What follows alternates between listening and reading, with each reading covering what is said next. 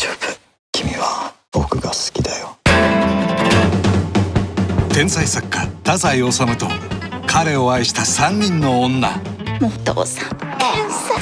誰よりも才能がある。私愛されない妻よりずっと恋される愛人でいたい。死にたいんです。一緒に。結局全部ネタだよ。書くためなら何でもやるんだ。たかが不倫小説じゃないですか。たかが不倫。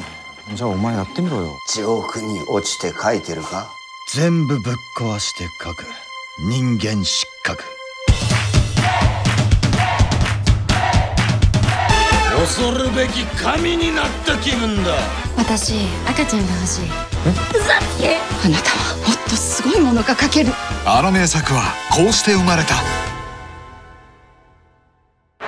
人間失格。太宰治と3人の女たち。はあ死ぬかと思った